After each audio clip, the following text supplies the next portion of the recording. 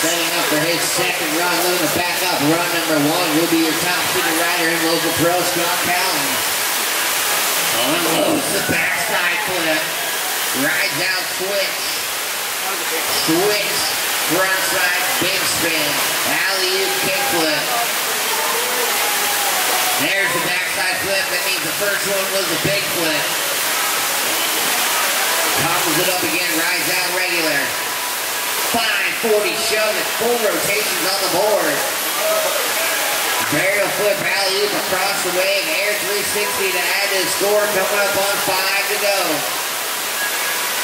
360 shove it. Combos Ollie North in the flat and time will expire. Scott Collins putting on a clinic.